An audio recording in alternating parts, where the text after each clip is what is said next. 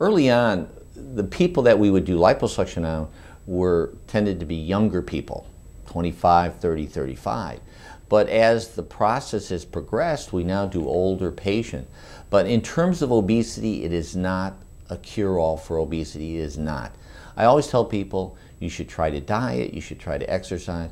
And of course, when somebody's morbidly obese, like 100, 150 pounds overweight, then they become candidates for a gastric banding or a stapling procedure. But liposuction is designed primarily to remove unwanted areas of fat.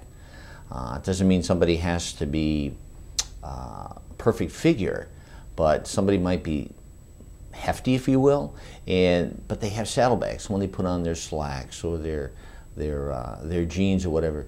It's a little tight in the hips, and so that's a perfect candidate. They come in, we liposuction the fat, and they go home a happy person.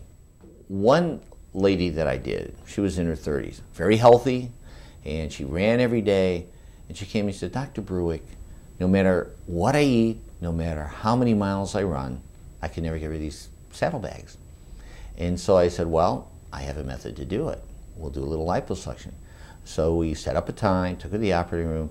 We removed maybe 50 cc's of fat, not a lot, but it was enough so that her hips didn't bulge out. They had a normal flow, a normal silhouette.